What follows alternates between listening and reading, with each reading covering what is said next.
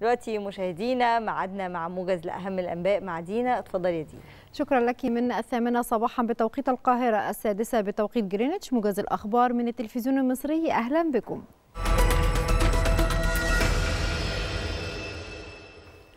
حذر برنامج الأغذية العالمية التابع للأمم المتحدة من أن المجاعة ستهدد بحلول سبتمبر المقبل 22 مليون شخص على الأقل في منطقة القرن الإفريقي.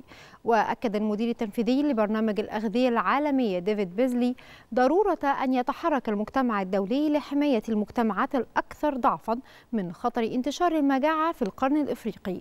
كما شدد على أن هناك حاجة ماسة إلى 418 مليون دولار خلال الأشهر الستة المقبلة لتلبية هذه الاحتياجات المتزايدة.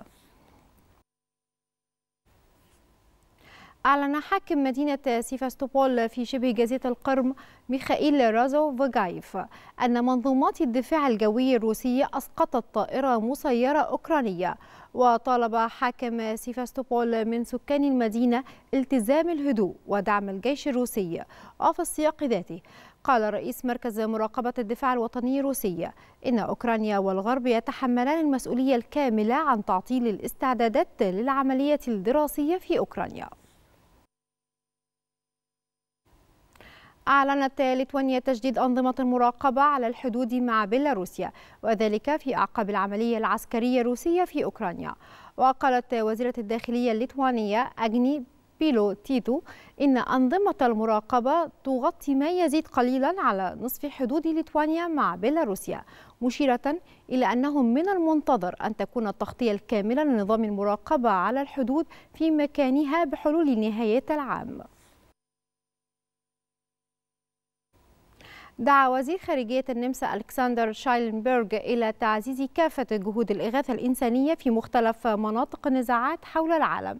وقال وزير خارجية النمسا إنه يجب دعم تكريم عمل العاملين في المجال الإنساني والدعوة إلى سلامتهم موضحا أن النمسا تعتبر من أشد المؤيدين لتطبيق القانون الدولي الإنساني وزيادة تطويره لحماية عمال الإغاثة في النزاعات المسلحة.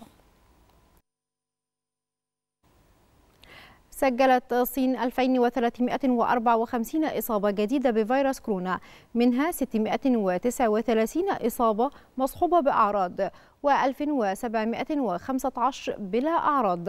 وقالت لجنة الصحة الوطنية إنه لم يتم تسجيل أي حالات وفاة جديدة ليظل عدد الوفيات عند 5226 حالة. وأظهرت بيانات الحكومة المحلية تسجيل العاصمة بكين أربع إصابات مصحوبة بأعراض. تراجعت اليوم حدة الأمطار الغزيرة التي شهدتها المناطق الشمالية والوسطى من نيوزيلندا وذلك على مدى أيام وأجبرت مئات الأشخاص على ترك منازلهم. وقالت هيئة الأرصاد الجوية إن حدة الأمطار تراجعت في المناطق الشمالية والوسطى من نيوزيلندا وألغيت التحذيرات من الأمطار الغزيرة. موضحة أنه لا يزال التحذير من هطول أمطار غزيرة ساريا في فيوردلاند في جنوب غرب الجزيرة الجنوبية. ختام موجز الثامنة فاصل وعود لحضراتكم لاستكمال باقي فقرات صباح الخير يا مصر